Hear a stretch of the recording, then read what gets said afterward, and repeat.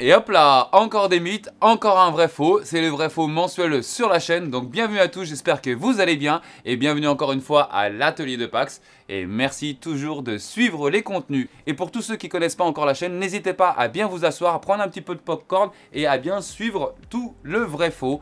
Mais qu'est-ce que c'est que ça Pax? Mais ah oui, j'allais encore oublié C'est le PC Gamer qui actuellement a gagné sur la chaîne. D'ailleurs, sachez que juste après celui-ci, il y aura encore un autre PC Gamer à gagner. Et comment on fait pour gagner ce PC Gamer? Bah tout simplement, allez sur la chaîne, regardez la vidéo qui est sortie juste avant celle-ci et vous allez voir, je vous donne toutes les instructions pour pouvoir gagner ce beau PC Gamer. J'ai recueilli vos questions pour ce vrai faux et vous allez voir, ça va être croustillant. Comme d'habitude d'ailleurs, hein, les vrais faux c'est toujours croustillant. On va y aller franc jeu, franco. On va commencer tout de suite par la question numéro 1.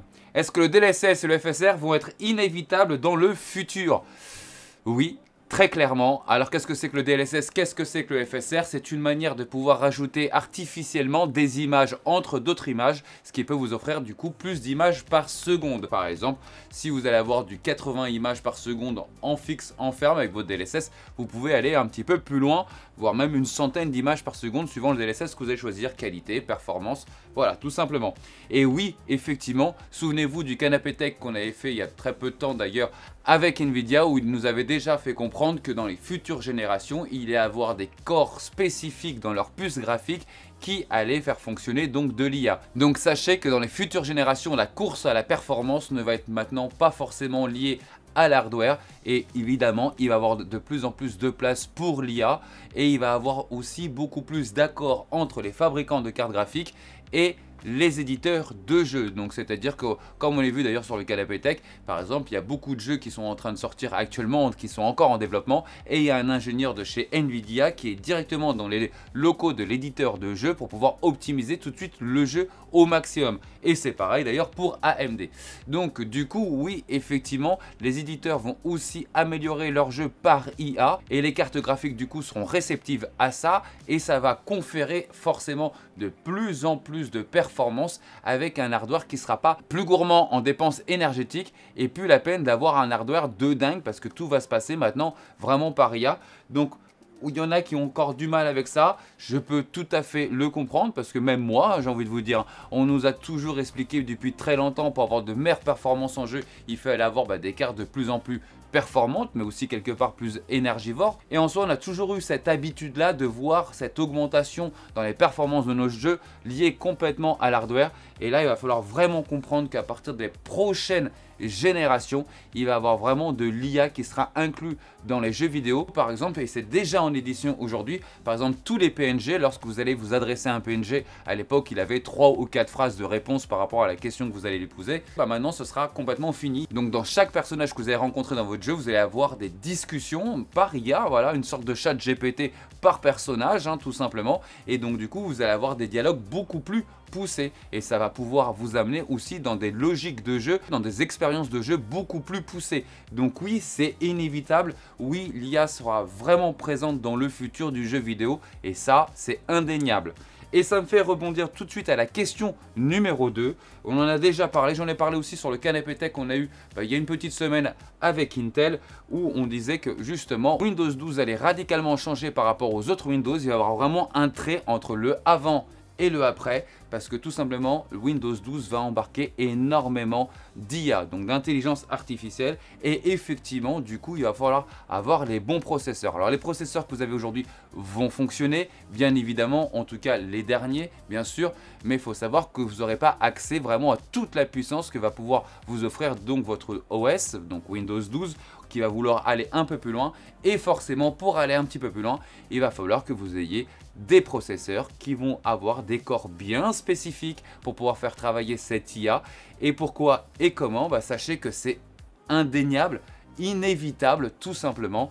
Votre OS, votre Windows sera bientôt un assistant personnel et il remplira vraiment ce rôle-là. C'est-à-dire vous allez allumer votre PC, tout ce que vous allez faire, mais vraiment tout ce que vous allez faire sur votre PC sera accompagné par intelligence artificielle. Donc ça va aller vraiment très loin. Vous allez voir, là on est en train de changer. Je vous l'ai déjà dit, sachez qu'avant ChatGPT, donc en novembre de l'année dernière, novembre 2022, on parlait rarement d'IA, un petit peu d'IA d'ici, un petit peu d'IA là-bas, mais c'était assez limité. ChatGPT est sorti en novembre et c'est simple, il n'y a pas une journée où il n'y a pas une nouvelle IA qui vient de sortir. À croire qu'ils avaient tout ça dans des tiroirs. Ah bah tiens, ah bah tiens, on est au mois de novembre, ça y est, on peut tout sortir. Ça, c'est quelque chose que je n'ai moi-même pas trop compris. Pourquoi ça n'a pas été évolutif, mais plutôt une bombe d'un coup avec autant d'IA. Voilà, c'est vraiment, on a pris ça dans la tête depuis novembre de l'année dernière et ça n'arrête pas. Je vous dis, il n'y a pas une semaine sans nouvelles IA, c'est incroyable. Donc Windows 12, bien évidemment, va intégrer de l'IA, mais vous verrez, déjà, on le voit déjà par rapport à Photoshop aujourd'hui, par exemple, et entre autres, bien entendu, que on va avoir une assistance vraiment d'IA et le but d'un OS, donc le but de votre Windows, sera vraiment d'être votre assistant personnel. Un petit peu comme Jarvis dans Iron Man, tout simplement. Vous allez voir quelqu'un vraiment avec qui vous allez pouvoir converser et il va vous rendre des services dans votre OS. Et sachez que c'est inévitable de toute façon parce que c'est clairement la direction que l'humanité prend depuis quasiment la création de l'électronique, c'est d'avoir vraiment finalement une intelligence artificielle qui nous aide dans notre quotidien. Donc vous voyez, la réponse 2 va tout à fait avec la réponse 1 aussi. Il va falloir bien se préparer que notre hardware va radicalement aussi changer pour pouvoir faire travailler toutes ces IA. Donc aujourd'hui, par exemple, quelqu'un qui se monte un super PC avec un super processeur, par exemple, sachez qu'une fois que Windows 12 va sortir, il risque d'être un petit peu obsolète parce qu'il n'aura pas actuellement ces petits corps tout simplement pour faire fonctionner l'IA de Windows 12 à 100%. Voilà, donc on va passer maintenant à la question suivante. Peut-on stocker des jeux directement sur ma carte graphique afin d'avoir plus de performance bah oui, clairement, c'est hallucinant d'avoir des questions comme ça. J'ai déjà fait une vidéo il y a plus d'un an là-dessus. Je vous mets le petit lien ici, n'hésitez pas à aller la voir où je vous explique justement comment on peut installer vos jeux directement sur votre carte graphique. Alors malheureusement, ça reste limité tout simplement par l'espace de votre VRAM. C'est-à-dire qu'un jeu qui va peser 100 Go, ça va être très compliqué de le mettre sur votre carte graphique. Voilà, tout simplement. Mais attention, je vous montre une petite image ici. Ouh là là là Mais qu'est-ce que c'est ça, Pax? Eh ben écoutez, ça c'est des nouveaux modèles qui vont pas tarder à sortir. Je vous link, je vous spoil, c'est tout frais. C'était sur le site internet, je vous montre aussi ça sur le site internet donc paxpc.fr pour ceux qui ne connaissent pas. N'hésitez pas, il y a des news tous les jours. Eh ben, il va avoir des cartes graphiques. On va pouvoir slotter directement des M2 dessus. Donc effectivement, ça peut être très très bien pour la solution de stockage de jeu ou pas, parce que est-ce que de la manière où elle est posée, ça chaufferait trop C'est possible. Il n'y a pas de refroidissement directement dessus C'est possible. Moi je dis le mieux, c'est d'essayer ça sur la chaîne. Alors moi je vous propose un truc, si on arrive à avoir 4000 likes sur cette vidéo là, je me démerde rapidement pour avoir cette carte graphique et pour faire les essais au sein de la chaîne. Donc voilà, question suivante. La question suivante est une question incroyable. Peut-on watercooler une PlayStation 5 c'est pas pour rien que je l'ai sélectionné celle-ci. Hein. Euh, bah écoutez, c'est simple, cette réponse je vais vous la donner tout simplement si c'est ce que vous voulez que l'atelier de Pax fasse un watercooling sur une PlayStation 5. Si oui, bah pareil, si on arrive à avoir les 4000 likes sur cette vidéo là, eh bien on fera une vidéo tuto même si vous voulez pour pouvoir watercooler une PlayStation 5 et ce sera fait avec une vidéo totalement dédiée. À vos likes, attention, c'est parti on continue, question suivante. Il me faut absolument mon i9 pour avoir les meilleures performances en jeu. Ah, combien de fois je le dis, un i9 ce n'est pas fait pour faire du gaming Et combien de fois à chaque fois j'ai en commentaire Mais Pax, tu n'y connais rien Un i9 c'est le champion pour pouvoir jouer eh ben non, et du coup je vais quand même vous montrer un petit extrait qu'il y a eu sur le canapé tech d'il y a une petite semaine avec Intel, justement en parlant de i9 et de sa destination. C'est maintenant Si vous allez sur de la 4K, eh ben votre i9, ça y est sur un i5 ou un i9, euh, la différence de FPS sera minime parce que le processeur n'est pas tant que ça sollicité. Donc dis-moi, en tout cas si je me trompe bien entendu, l'orientation propre d'un i9 i9, on parle bien d'un i9, hein, et l'architecture d'un i9 est quand même orientée en dehors du gaming et plus pour un public professionnel. Quelqu'un qui ne fera jamais de créatif, tu lui, tu lui, conseilles d'acheter un i9 Quelqu'un qui fait que du jeu. Oui. Moi, quand je regarde à l'autre gamme, je lui conseillerais plutôt de partir soit sur un i5 ou un i7. On est d'accord.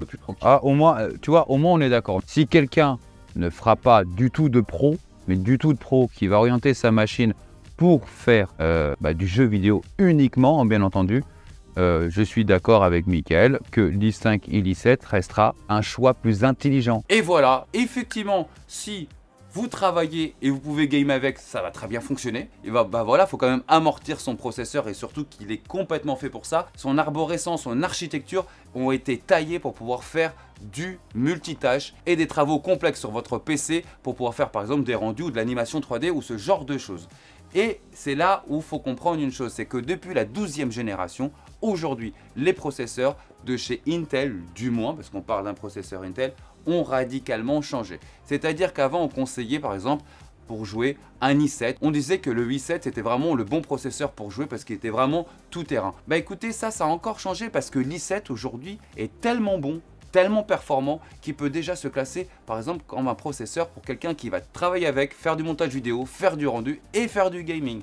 Aujourd'hui, moi, je préconise pour les gens qui veulent jouer là, à l'instant T, à l'instant ou sur cette vidéo de chez Intel, pour pouvoir gamer, je vous conseille aujourd'hui du 14400, du 14500 et du 14600. Ça suffit largement, surtout si par exemple vous voulez attaquer la 4K, parce que souvent on dit mais pourquoi c'est pas le même processeur pour la 4K Eh bien c'est simple, ça sert à rien d'aller chercher un i9 pour faire de la 4K et je m'explique pourquoi. Vous savez très bien que lorsqu'on fait de la 4K, lorsqu'on joue en 4K, on a moins d'images par seconde. Donc si on a moins d'images par seconde, eh ben ça veut dire que le processeur est moins sollicité. Quel est le rôle du processeur dans votre jeu vidéo? Le rôle du processeur dans votre jeu vidéo, c'est pas le même rôle que la carte graphique. C'est lui qui va tout faire, c'est le processeur.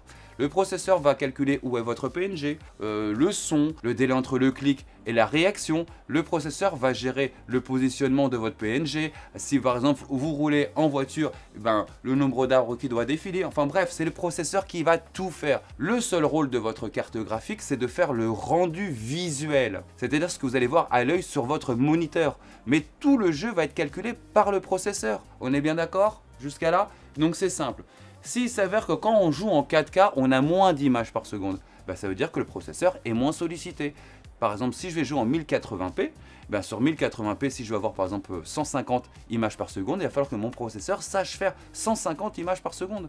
Alors que si je vais jouer en 4K et que je me retrouve avec 70 images par seconde, ben mon processeur il est tout cool, il fait Ah, j'ai plus que 70 images par seconde à fournir sur ce PC là. Je suis en mode tranquille. Voyez donc du coup, c'est très important. Si par exemple vous allez cibler de la 4K, et ben sachez que un processeur, même un 13400 ou un 13500 ou un 14500, ça suffit largement. Question suivante. Une bonne question. L'électricité statique peut détruire votre PC. Pour tous ceux qui connaissent la chaîne, depuis la création de la chaîne, à l'époque, je portais des gants blancs quand je montais des PC. Et il s'avérait qu'il y avait même des petits colliers qu'on branchait à la terre, à une masse ou quelque chose comme ça pour pouvoir vous décharger de votre électricité statique. Techniquement, sur le papier, oui, c'est toujours dangereux. Techniquement, on vous conseille toujours de le faire, faites-le. Moi, je ne le fais plus. Je devrais peut-être le faire, mais je pense que ce qui se passe, c'est que ça se passait surtout au niveau des cartes mères. Voilà. Euh, il n'y avait pas autant de vernis par-dessus, il n'y avait pas autant de protection par-dessus. Donc techniquement, normalement, sur le papier, il faudrait le faire. Plus personne quasiment ne le fait parce qu'il s'avère qu'elles sont beaucoup plus résistantes qu'auparavant à l'électricité statique. Donc normalement, on vous conseille de le faire. Sachez qu'il y a toujours un risque de là à détruire tout le PC, non, mais ça peut détruire le composant où il y a eu cet impact-là, forcément. Moi, ça fait longtemps que je ne le fais plus aujourd'hui. Je devrais peut-être certainement le faire parce que pour juste pour donner l'exemple, mais sachez que ces risques ont été grandement diminués. La preuve en est, c'est que vous allez voir des vidéos aux quatre coins de la planète. Aujourd'hui, quasiment toutes les personnes montent des PC sans gants, voilà, sans gants antistatiques. Même moi, je le faisais auparavant. Je devrais peut-être quand même le refaire. Faudrait que je pense à ça. Mais techniquement, oui, il y a un risque. Mais concrètement, il est devenu très très minime. Voilà. Et bien voilà, j'espère que cette vidéo vous a plu et n'oubliez pas que ce beau PC actuellement est à gagner ou d'ailleurs j'ai fait des tests pour pouvoir jouer en 4K avec et il y a une 4070 Ti, un 13400F, 32Go de DDR5 sur un beau papier blanc. D'ailleurs, C'est simple, c'est une config full white. Mais Pax, comment on fait pour gagner ce PC Allez dans ma vidéo juste avant celle-ci. Voilà, et il y a toute l'explication pour pouvoir gagner ce PC. Donc n'hésitez pas, il reste encore quelques jours pour pouvoir le gagner. Voilà les amis, j'espère que donc cette vidéo vous a plu. Si ça vous plaît, un petit abonnement, un petit like, ça aide toujours la chaîne à performer. Je vous dis maintenant à très bientôt pour la vidéo de jeudi. Ciao ciao